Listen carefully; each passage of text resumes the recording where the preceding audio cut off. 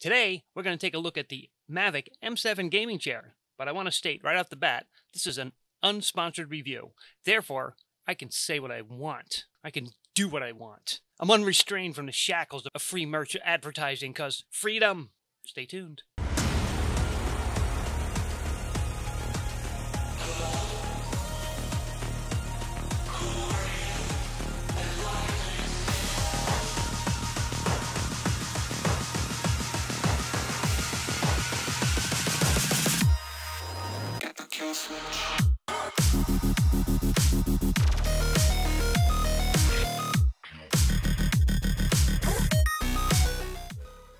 Point I'm so horribly making right now is I am not an attractive internet influencer, not given something for free that may lead me to be more generous in my opinion. Certainly not to the point I'd be trying to establish a reviewing relationship with said product maker. And even if this was a free product, this would be my review an everyday man's review of the Mavix M7 gaming chair. Clear cut, no holds barred, with the hope that this video answers your questions of why you'd want to spend your oversized tax return on an upscale pricey chair. Not trying to besmirch any of the influences I mentioned previously, because most, if not all, put their first impressions of a product they were given for free and put a review on the internet in good faith, hoping to do the same as me, provide you with an honest opinion. It's the business of the internet. That's just a fact of advertising. Sorry, I feel a little too stigma conscious. Like, Stigma was an old girlfriend from a long time ago, and I just saw Stigma with her new boyfriend. I'm not crying. You're crying. There's one fact in this world that, that cannot be discounted. Getting a good chair for gaming or business use is like getting a good bed or mattress.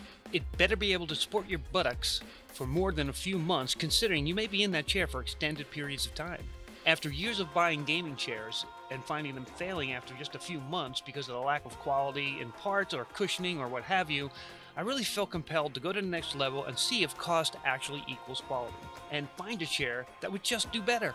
These days, it's not just a whim. I work from home, I game from home, I chat from home, all from the same buttocks resting on said chair. The journey to this point has not been a smooth one because I was buying by cost and not quality. Then. And that's on me. The past chairs I've had never truly made it past the six month mark before I wondered, why did I buy this hideous product of torture anyway? I mean, as an example, look at my last gaming chair I bought for about $230 two years ago. I made a significant investment in the pillow-fication of that chair to compensate for all its shortcomings, better said, lack of long term quality. My first impressions of the Mavix M7 are good, but then look what I was coming from with the pillow-fication of my old chair. Compared to that, the Mavix M7 is leaps and bounds better. It remains to be seen although I am optimistic that I'll be putting my buttocks in this chair for quite some time into the future. Let's take a deep dive in how the Mavix M7 is made. The major portion of the chair is heavy because it's made of metal, and other portions are made of high density plastics, possibly like an ABS material that you find in cars. Some reviews have said that for its price, the Mavix M7 should not have used some of the plastics in the parts that are plastic. I don't feel like these people understand the cost of building a product to get a fair price cost return value. Let's face it, if they gave their chairs away for free,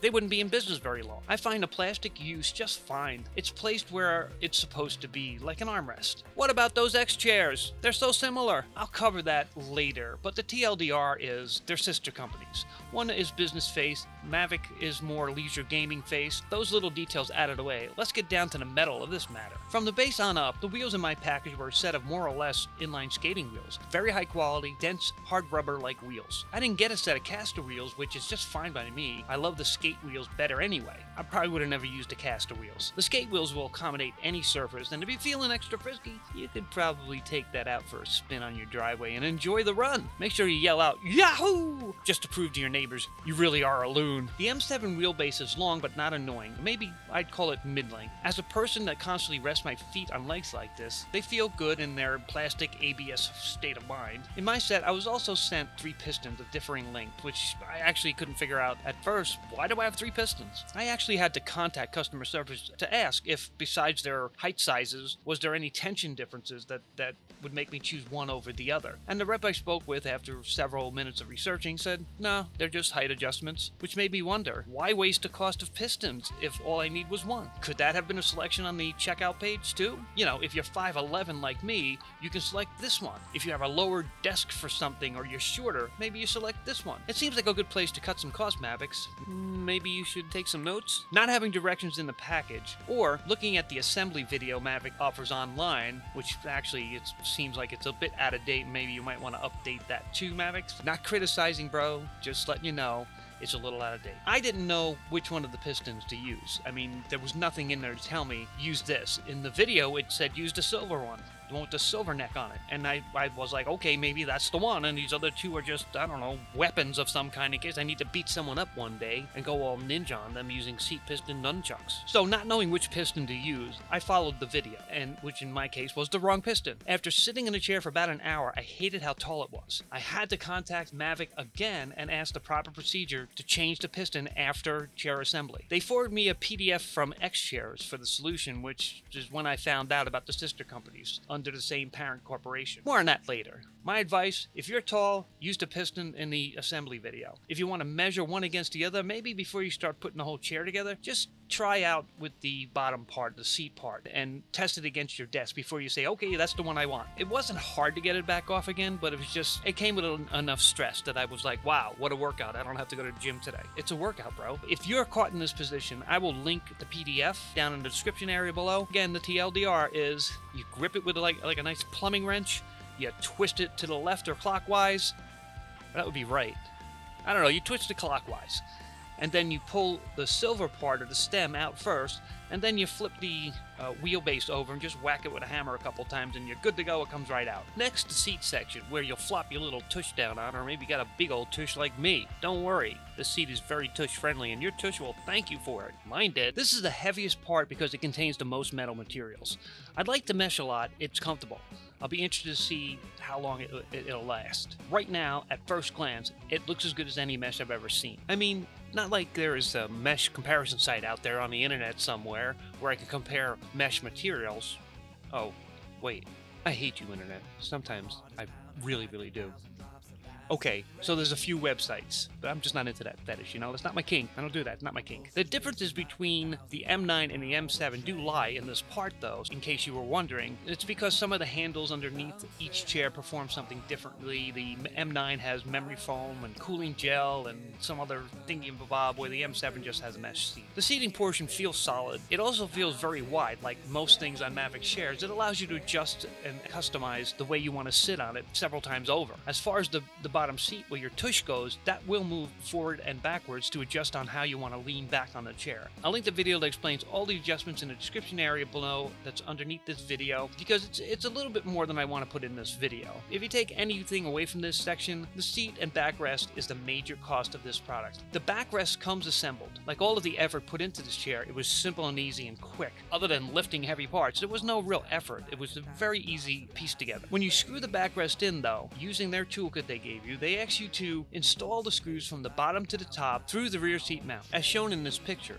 Unfortunately, I kind of consider this an engineering design flaw, as it leaves the screw tops exposed and not aesthetically pleasing, one of the only gripes about the chair's aesthetics. One last item on the backrest, which is, surprise surprise, adjustable. It holds its position using a spring-based catch mechanism inside the back rest itself. There's a, a long pipe I shouldn't say pipe, but there's a long metallic structure and, and the, the locking mechanism inside that. That's kind of important, so hang on to that thought. The way it works is there are clicks, one through four, that will position the chair higher and higher as you get closer to four. The fifth click will reset it back to the first position. I actually first thought I got I got a broken chair because I kept on pulling it up and down and nothing was stopping. I'm like, it's broken. Why do I get? The, why do I have to get the broken one? But it wasn't, and then I found out. So in case that happens to you, it's not broken. You're just being a, a monkey brain. A lot of viewers complain that sometimes when they pulled the M7 by the backrest, the backrest would lock into a different position. Of course, it does. It's adjustable. I found out the hard way, and so did you. I put this in the category of, hey doctor, if I move my arm like this, it hurts. To which the doctor would respond, well, then don't move your arm like that. This would be an argument for an external locking mechanism because monkeys gotta be monkeys. Top three reasons why you probably don't want to buy the Mavix M7. Reason one. The price is out of your conceivable price range. You thought you'd never spend that much money on a chair you sit 10 to 12 hours in. Face it, you're either cheap or you're, I'll use a better term, you're frugal. Reason two. You got a small wee wee and you want to just try and compensate. Getting an expensive chair works the same way as getting a hot car because your wee wee's tiny. Why do you think so many senior citizens over 60 have some of the hottest cars around? It's true Deal with it. You think EV meds might have stopped that? No. Reason 3. You really don't like some of the aesthetics, and you feel for the price, it should glow or at least have LEDs on it. That's on you, bro. That is on you. Top five reasons why you would buy the Mavix M7. Reason 1. The facts are, there are no perfect chairs out there, but this one comes close. Reason 2. It may be expensive, but consider your back or your butt. This might be the one chair that changes your life or at least makes your back and butt feel better. Reason 3.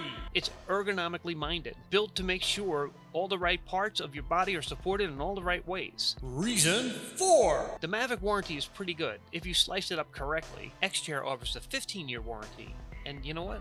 I'm a little tilted. Reason 5. You have a tiny peepee and you bought the Mavix because you're compensating. Hey, it's okay. It's the reason I bought it, it's a valid reason. Here's the conspiracy theory you guys have all been waiting for. I'm going to debunk it in three seconds. You ready? All right, sit down. Let me explain why X Chair and Mavix so closely resemble each other. It's simple. Both companies are child companies of its parent. The parent's name, Future Seating. Horrible name.